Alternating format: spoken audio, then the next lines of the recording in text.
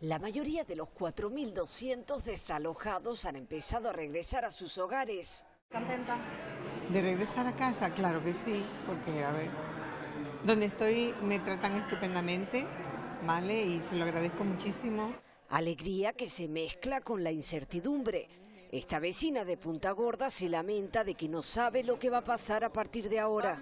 Es mi casa, son mis nervios, es mi, no sé lo que va a pasar. Mónica es otra de las desalojadas que ya puede regresar a casa. Ella y su familia se vieron sorprendidos por el incendio. algo agotado, cansado. Eh, vinimos por una situación pues de emergencia y se espera esto y aparte de eso pues el miedo, eh, resguardarse como familia, cuidarnos, protegernos entre nosotros mismos. Las autoridades que dirigen el operativo contra el incendio decidieron permitir el realojo de la mayoría de los vecinos de la parte baja de la LP1 hacia la costa, incluidos los pueblos de Tijarafe y Punta Gorda. Hay excepciones.